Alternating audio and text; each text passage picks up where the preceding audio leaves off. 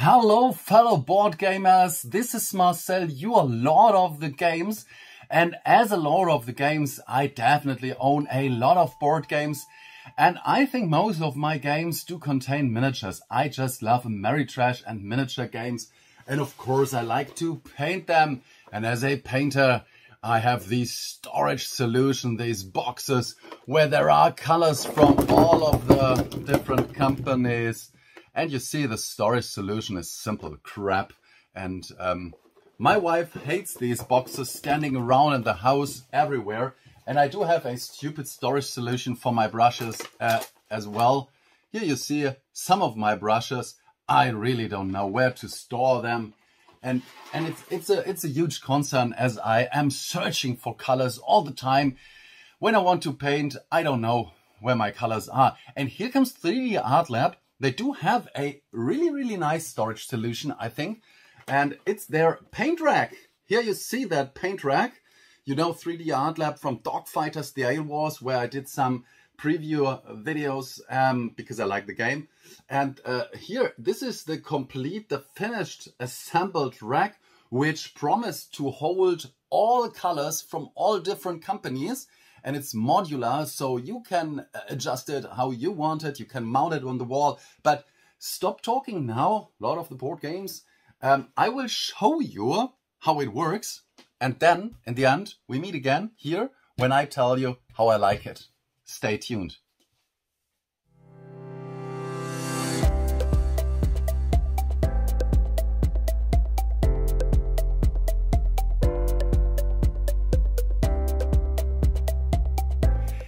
And here you have it. Uh, this is, let's say, the complete product range. You do see the, let's call it edge rack and two times the straight rack.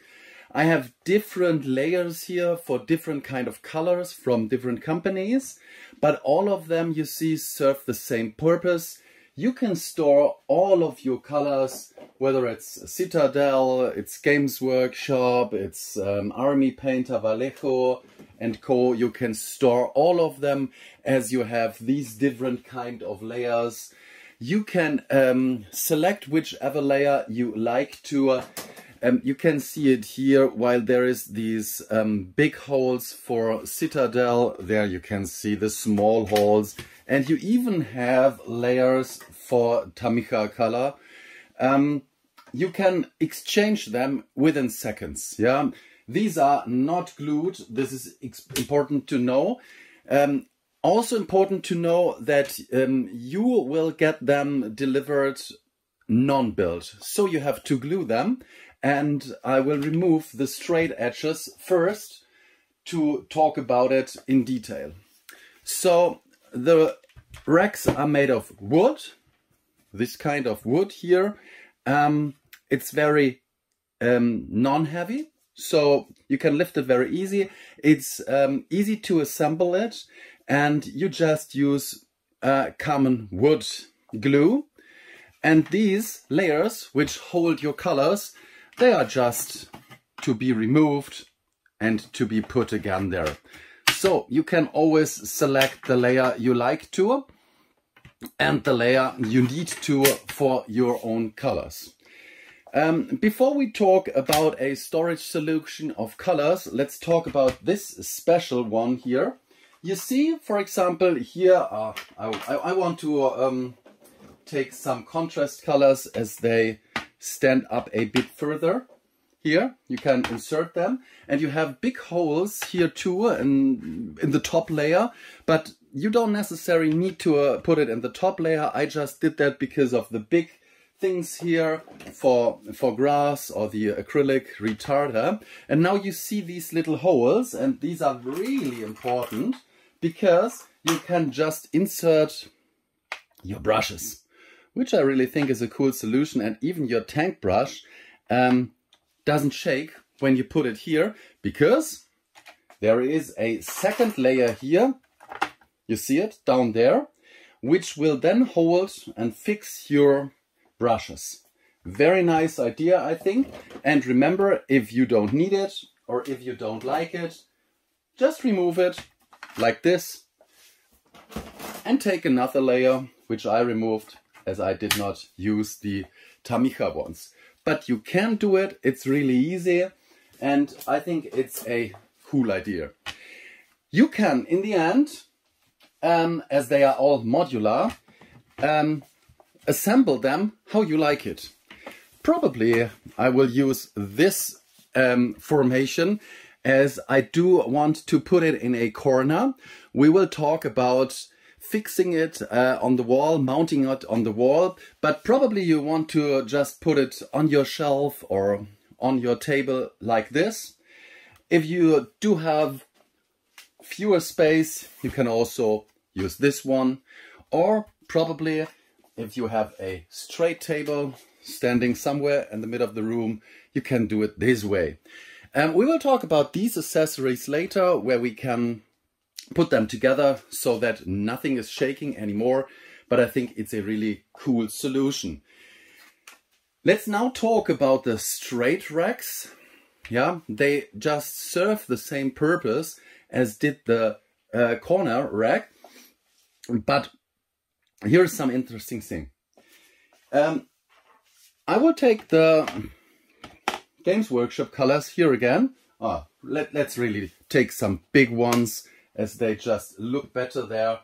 Um, here I use these technical colors. They are really big.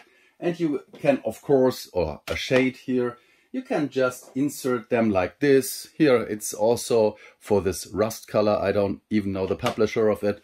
And it looks great and it's, it's cool. Yeah, they don't drop out. But 3D Art Lab, they have another solution for storing your colors, and I like that really more. This is like a Tribune solution, I would call it. I don't know if you, they call it too. And if you look here, I inserted these wooden pieces. You can easily remove them here, like you see. They are not glued to. And you see there are some marks here. And if I return the plate here, the layer, then you see that there's a mark here and the mark is the same as you find here in the bottom of all these things. Um, and you can push it here and you say here is the same mark. I think you understand what I want to express. You always put these wooden tiles in the holes that are the same as here and then you just put the plate back on top of it. It's, it's definitely the same. But now see how that works. I will take my contrast colors and what you see is that the whole thing looks different. To me, it looks a little bit nicer as now the contrast paints in the first row here, they are a bit lower than in the second row and it's like uh, steps. Yeah, this is a technical paint again. It's like steps so that when you are sitting in front of the rack on your table, before your table, you can see the colors in the last rows just a bit better. Yeah, you, well, I don't, I don't need more contrast paints. So um, here, probably this is easier to see now. Um, it's a, it's a Tribune solution. Even if it's mounted on the wall or it's just standing there, you can grab them easier or you can see easier which color it is. It's, it's, it's a very cool idea, I think, and it just looks cool and awesome. So this is the next cool thing you can do. Um, and please remember, you don't have to do it. And this is the core concept of the modularity of all these racks. You can select what you want, what you like, and the way it looks perfect to you is the correct way. It's all up to you.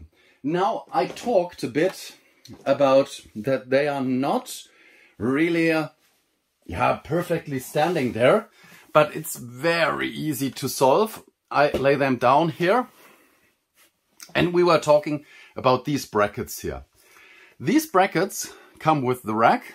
They are wooden, the same material as you have here.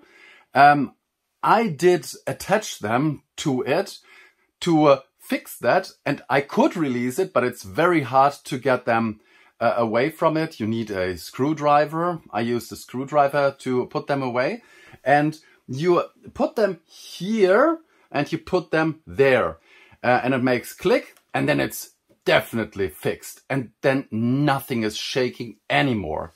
I will show you the part where you attach it and this is correctly here and here. So you use two brackets when you want to assemble two of these racks. It just works the same with these edge tile here, with these edge rack. And this is part of the modularity concept. You can just combine it how you like it. And in the beginning, I told you you can just put it on the table, which really looks nice. But there are some people who just do not have enough space for it on the table or they have too much things on the table and just no more spaces left.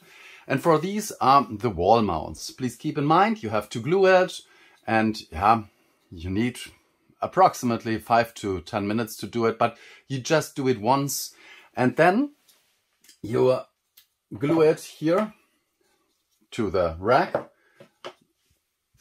Two of these on each rack. Then you have this result.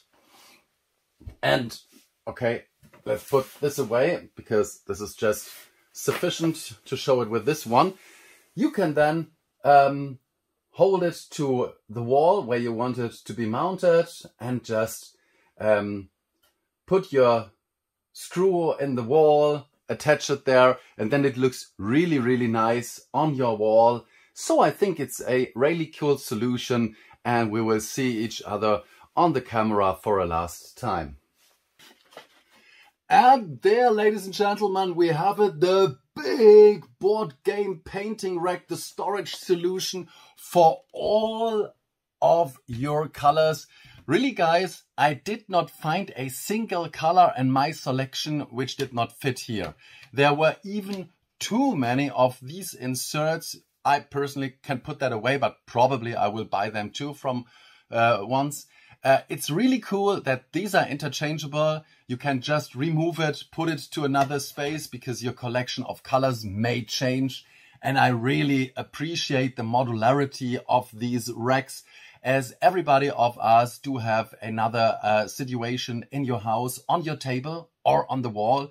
Personally, I will fix it um, to my wall. I will not put it on my table as my airbrush eats up a lot of space.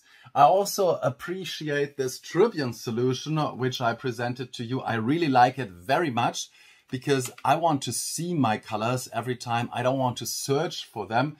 And um, there I ca can see it in, in seconds. So I think this is the end of my stupid storage solution here with all my colors. And oh, I forgot to talk and uh, to say it's, it's cool that you can put your brushes in there as well as all your bigger tins. So to me, this is the perfect painting solution. Yeah, and now it's up to you to ask whichever question you have. Leave me a comment if you liked the video. Just give me a thumb up. And if you want to see more, then subscribe to my channel, ring the bell, and I say thank you for attending this video. I am out. See you the next time. Marcel, your Lord of the Board Games.